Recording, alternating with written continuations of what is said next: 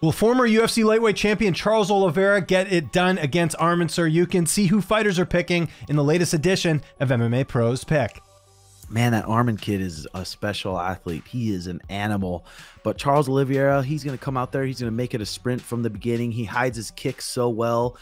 He, he's so dangerous everywhere. That one's so tough, but I'm going to pick Charles. I know Charles is the underdog there, and uh, I'm going to pick Charles on that fight.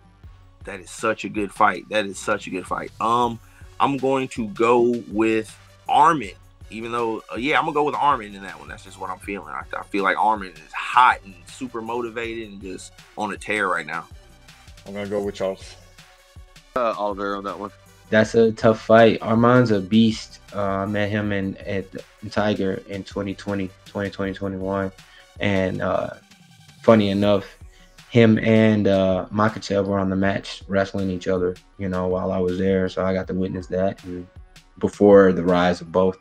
So I think it's um it's that old game like where the wrestler can hold down the jiu-jitsu practitioner on the mat, you know, and obviously Charles is very, very tricky on the mat.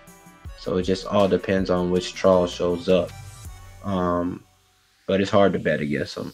And so I think it'll be a size difference in this one as well. So depends on the shape of whoever shows up. Whoever shows up in better shape wins that fight. I don't think it has anything to do with skill. I think they both have their moments. I think whoever's in better shape will win that fight.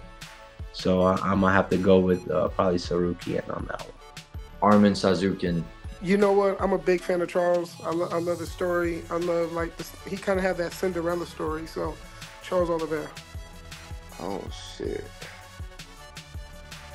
I'm gonna go Charles. Charlie Olive. Oliveira. Charles Oliveira, also my brother in Christ. Charles. I like Arman. I think he. I mean, there's no easy fights at 155, but Arman seems to be a, kind of a step above even that all the hot prospects there, and this is probably where he kind of starts taking over and getting his name in that list of of top top dudes at 155. So I'll take Arman.